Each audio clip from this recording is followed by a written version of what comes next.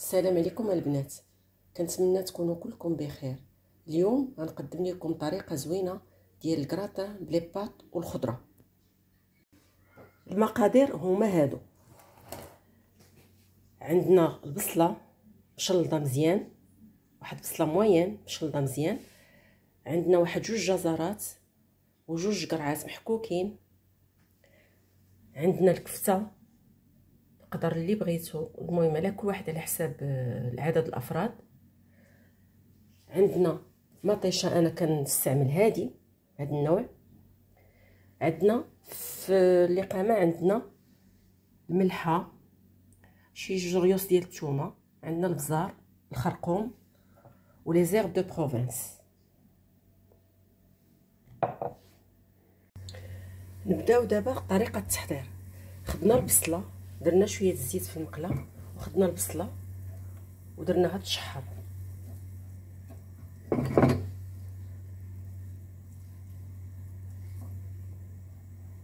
غادي نخليها تشحر مزيان حتى تذوب نغطي عليها واحد شوية نخليها تذوب في هذه اللحظة خديت طنجرة كبيرة درت فيها الماء وشوية الملح وخليته يطيب باش من بعد ندير فيه لي بات البصلة كندير معاها شوية د الملح باش طيح في هذه اللحظة البصلة تشحرات غنزيد عليها خيزو والقرعة.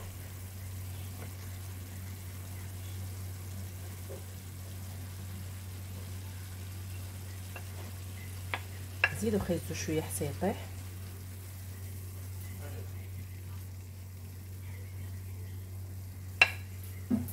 حتى يطيح مزيان.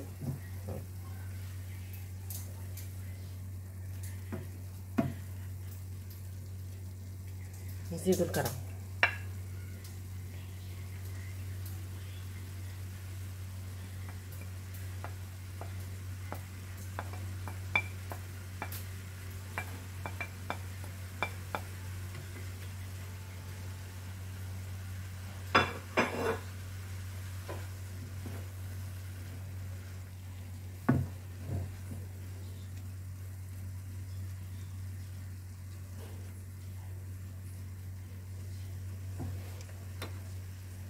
ندير شوية البزار.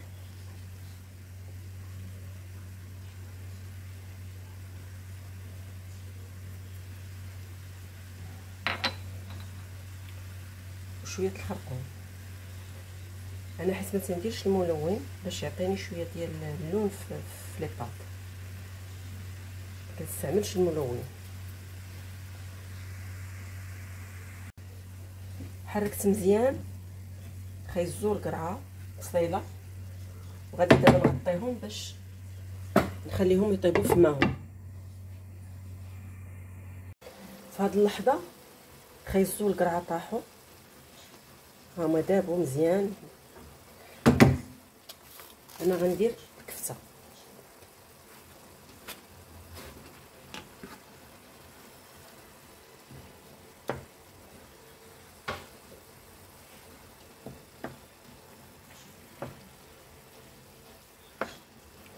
غنحاول نفتتها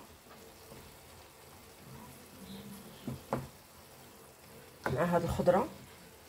نحاول نفتتها مزيان مع هاد الخضيرة اللي هنا.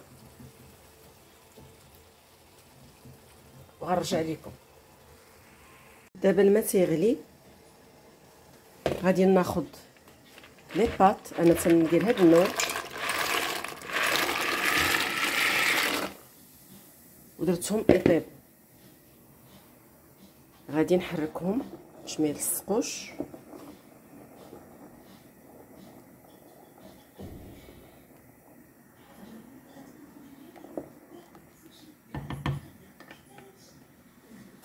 وغادي نخليهم يطيبوا.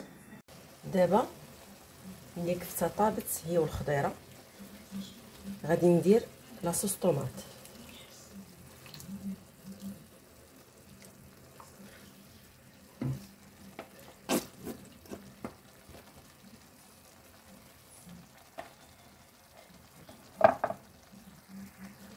غادي نحرك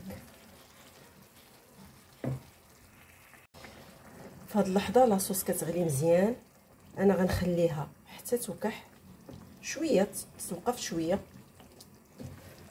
وغنزيد دابا les herbes de Provence واحد الكمية ديال les herbes de Provence بالنسبة les pâtes أنا مرة مرة تنحركهم باش ما يتلصقوش. تنخليهم نشوف مازال ما طابوش. دابا la sauce ها هي جات معلكه ما نقول لكمش واحد الريحة طالعة منها كتشهي. دابا غنطفي عليها. وغادي نغطي نغطيها ونخليها de côté. نخليها جنب حتى. حتى نبغيها نخلطها مع les pâtes هاد اللحظة كنشوف بأن لي بات هما طابو. أنا ما بغيتهمش يطيبوا بزاف بغيتهم يبقاو شوية شادين في ريوسهم. هاد اللحظة أنا غنطفي عليهم.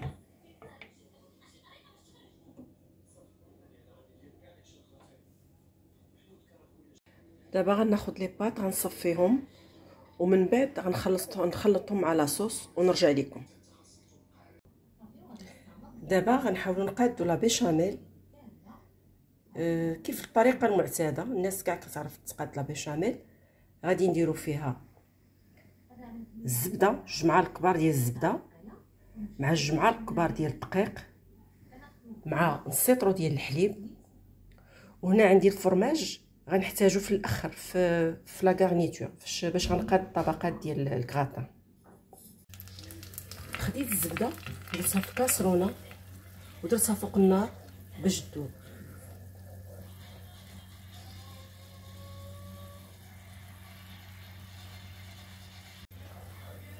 الزبدة ذابت في هذه اللحظة. غنزيد فيها الدقيق.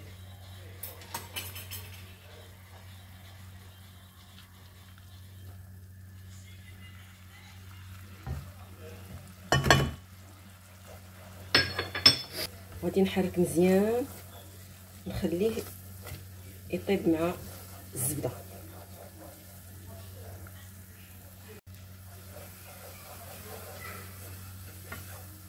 نقص عليه البوطة شوية. غادي ندير شوية الملح.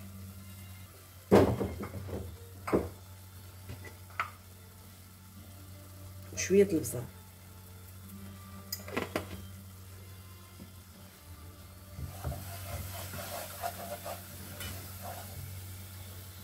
غناخد الحليب وغادي نزيد شوية بشوية.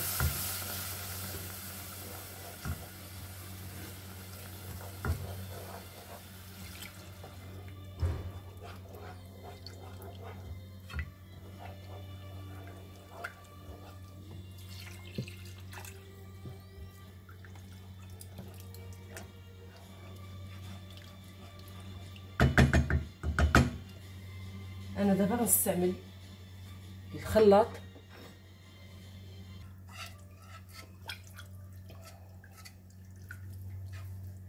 وغادي نحاول نحرك هادشي نحرك هادشي حتى يذوب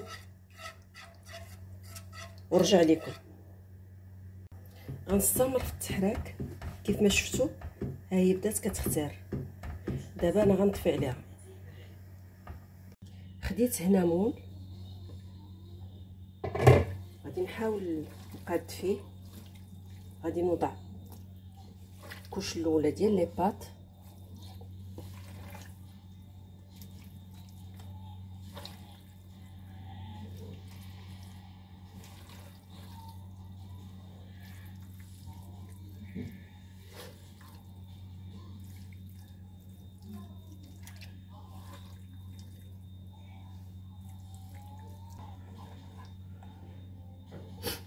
غندير فوق منها.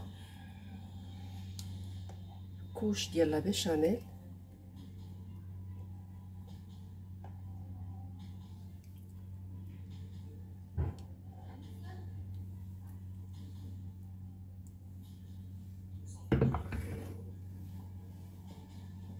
غنوضع شوية د الفرomاج هنا بين الطبقات.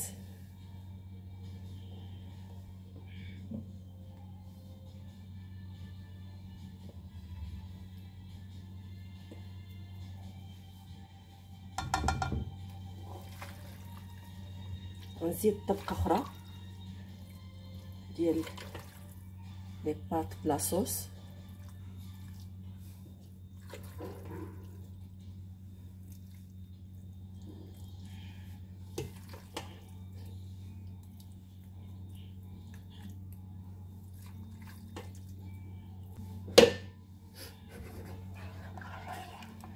نعاود ندير طبقة ديال لا بيشاميل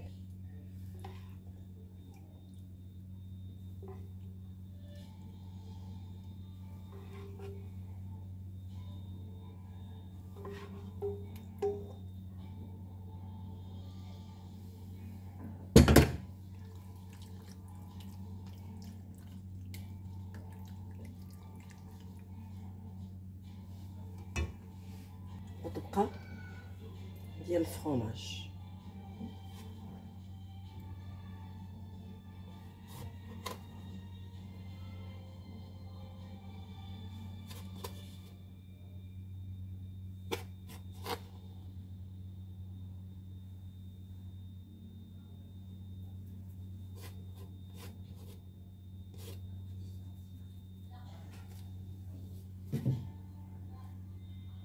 وغادي ندخلوه للفران. أنا دخلت المول الفران شعلت عليه من الفوق ومن التحت باش يطيب.